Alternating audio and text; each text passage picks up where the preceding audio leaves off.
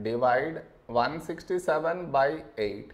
While doing this division, many do this mistake.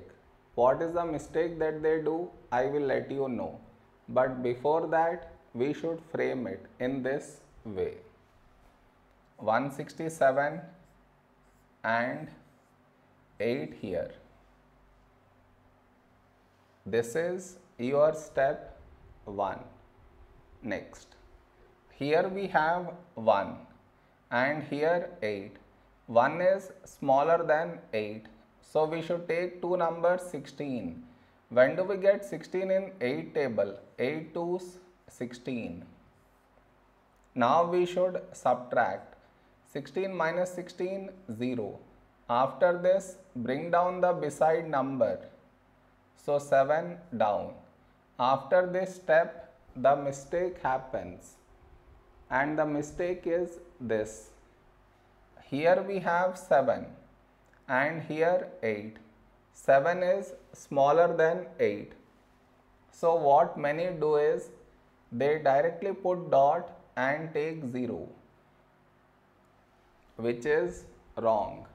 Why is it wrong? Because just now you brought this number down and in the same step you want to put dot and take 0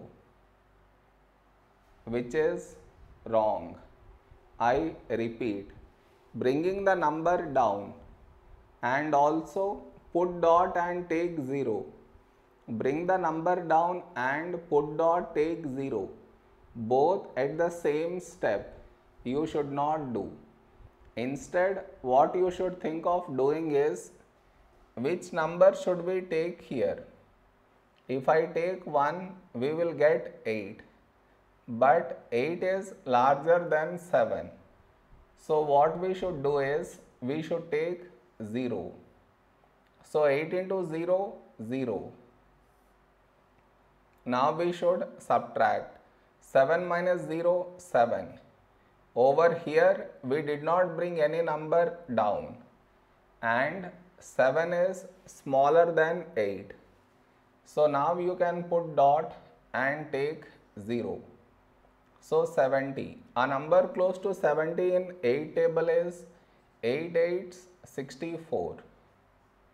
Now you should subtract we get 6 and continue the division. I am not doing that. Did you understand where the mistake happens? You should not do that mistake.